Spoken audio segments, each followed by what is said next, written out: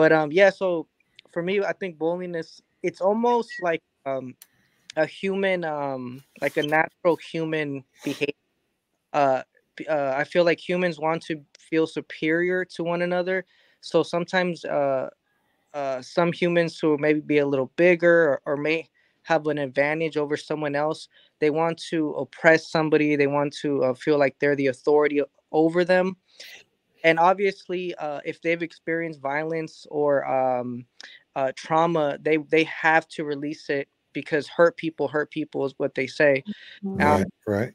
and um i with me I, i've experienced bullying uh, and it happened around middle school. Um i don't remember too much bullying in elementary